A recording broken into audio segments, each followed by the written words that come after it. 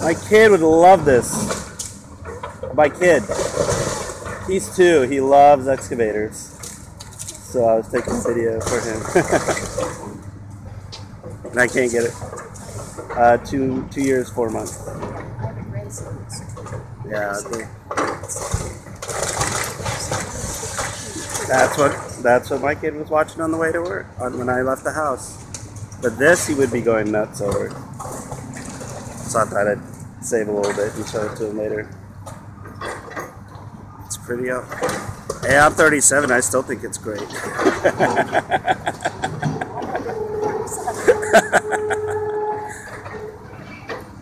oh, that's great.